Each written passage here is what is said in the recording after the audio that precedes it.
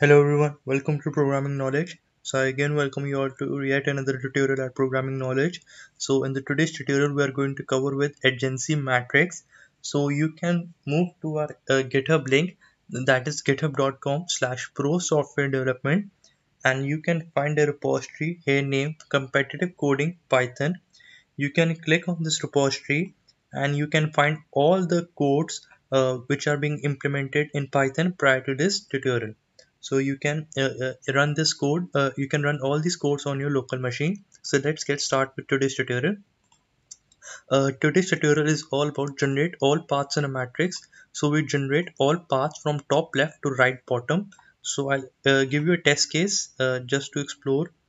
Like here you can see i have a matrix 1 2 3 4 5 6 7 8 9 top left is the source and right bottom is your destination. So one here is the source nine is the destination and you can move either right down and diagonal. You need to generate all paths. So let's uh, code this algorithm.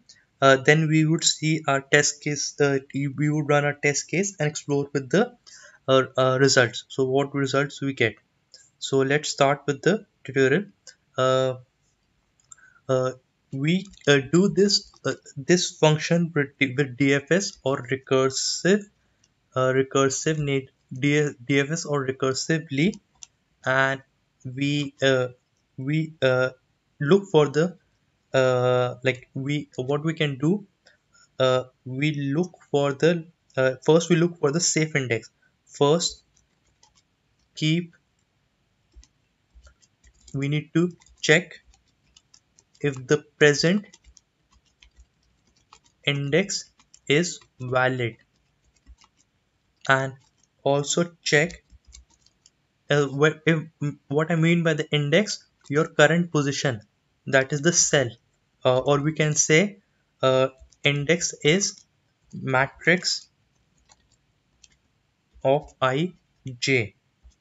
Here you can you can also refer to this to the current position okay so current index current index uh, I'll write current index is matrix of ij first check if the present index is valid okay? So if the present current index is, is valid and check if the current index can be explored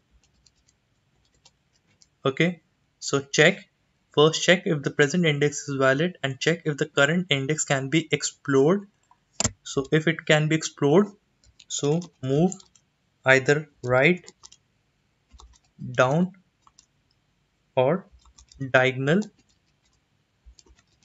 Else we backtrack. So we do this DFS or recursively current index is, is matrix ij first check if the present index is valid. Check if the current index can be explored. So if if the current index can be explored we either move right down or diagonal. Else we backtrack. So let's define our matrix. Uh, we can either take input. So this is the matrix. So for i in range uh, we can define an integer. N is equal to int input. So this would define the n cross n matrix so for i in range n we have a row row is equal to map. Before map we get a list integer input dot split. Then we uh, append this row in the matrix mat dot append row. And then we have a path. Okay. So what we do we call a function define find paths which has a matrix m uh, which has a path comma i comma j. Then we call this function find paths mat, mat comma path comma uh, i comma j would be 0 comma 0 because i have told you that the position would be the uh, top left. So this index is 0 comma 0 so let's move back to our code. So now what we do uh, we also define a function is safe. We can either check this condition or we can define a function. Uh, we can define this function diff define is valid.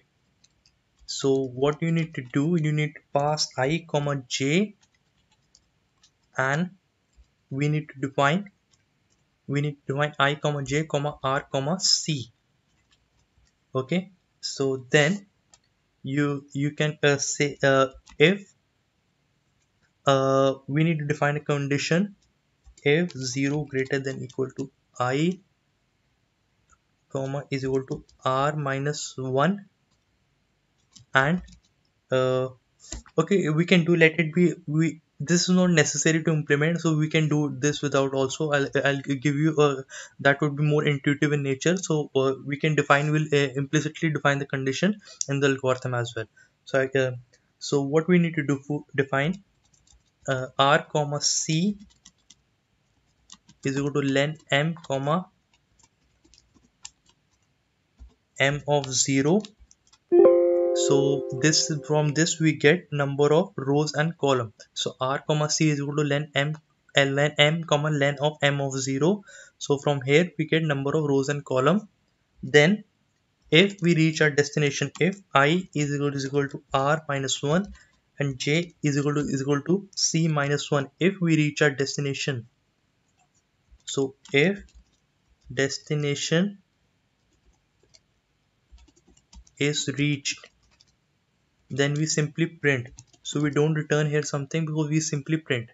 So we print path plus uh, since m of ij is an integer we convert this to list and concatenate and we print path okay? Then we return nothing because we are we are printing here so we don't need to return anything. Print path plus m of ij so uh so uh like if the destination is not reached so we explore.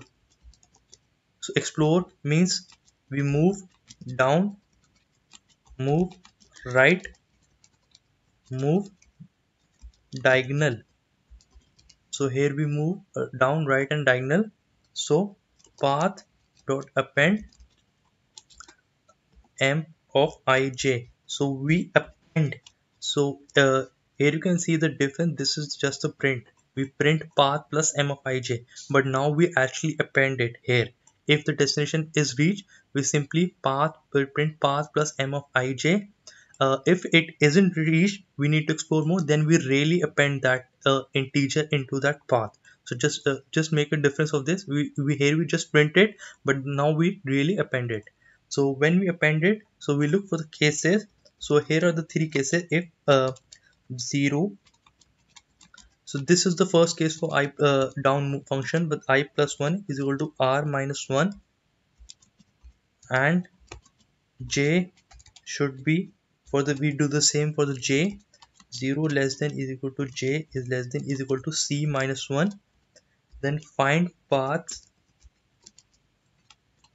m comma i plus 1 we would call this for i plus 1 i plus 1 comma j. So this is the condition for move down. Similarly we define the condition for move right. So this is the condition for move right. Uh, but for move right what we need to do? We would do j plus 1 and call this function for i comma j plus 1 and for diagonal we do the same uh, we call this for i plus 1 and j plus 1 so if and then in the end what we do if none is explorable if none is if none of the above above is explorable or invalid index. So anything doesn't work here then we backtrack then path dot pop. So pop uh, uh, it pops the it pops the that uh, element which we had really appended it. So now let's run this code. So for this test case I need to put 3 also. 3 is the n. So then 1 2 3 4 5 6 7 8 9 okay let me go with the code yes now here you can see I have all the paths. So let's quickly explore all the paths.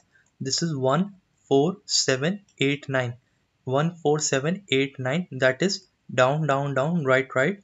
1 4 5 8 9 perfect. 1 4 5 6 9 perfect. 1 4 5 then we move diagonal 9 so one of the path is also 159 we move direct diagonally. Then 1569 1589 perfect. 1269 1 okay even this is also added 1 then move right 2 then move diagonal 6 then move down 9 so all the paths are absolutely correct. So here you can move uh, like this is the way you can explore all the paths. So this is the condition. The, uh, you can also define one function is valid and you can uh, check all those conditions for move right down and diagonal in that function by passing the parameters. So this would uh, save you from writing such lengthy if conditions. So thank you guys. Thank you so much. I'll catch up in the next tutorial